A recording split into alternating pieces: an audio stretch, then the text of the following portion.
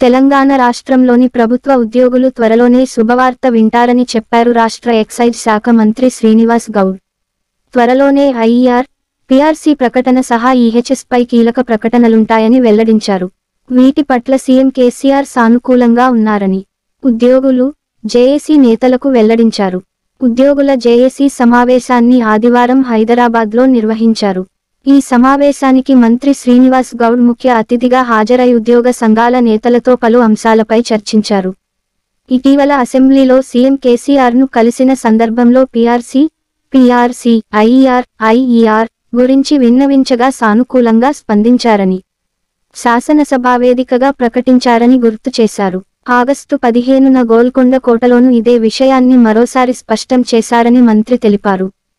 ఈ సందర్భంగా ఉద్యోగ సంఘాల JAC chairman Mamilla Rajender secretary general V మమతలు మాట్లాడుతూ త్వరలోనే సీఎం కేసీఆర్ను కలిసి అన్ని రకాల సమస్యలను పరిష్కరించుకుంటామని ఆశాభావం వ్యక్తం చేశారు. ఉద్యోగుల సేవలను అసెంబ్లీ వేదికగా గుర్తు చేసి ఈహెచ్ఎస్ ఐఆర్ పీఆర్సీలపై ప్రకటించినందుకు సీఎం కేసీఆర్కు వారు ధన్యవాదాలు తెలిపారు. సీఎం కేసీఆర్ వెన్నంటి ఉంటామని బాసటగా నిలుస్తామని ఈ సందర్భంగా నేతలు తీర్మానించారు.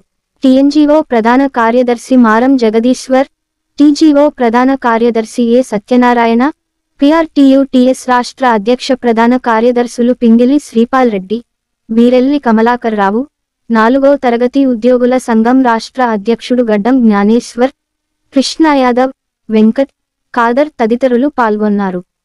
కాగా మంత్రి చెప్పిన మాటలతో ఉద్యోగులు ఆనందం వ్యక్తం చేస్తున్నారు.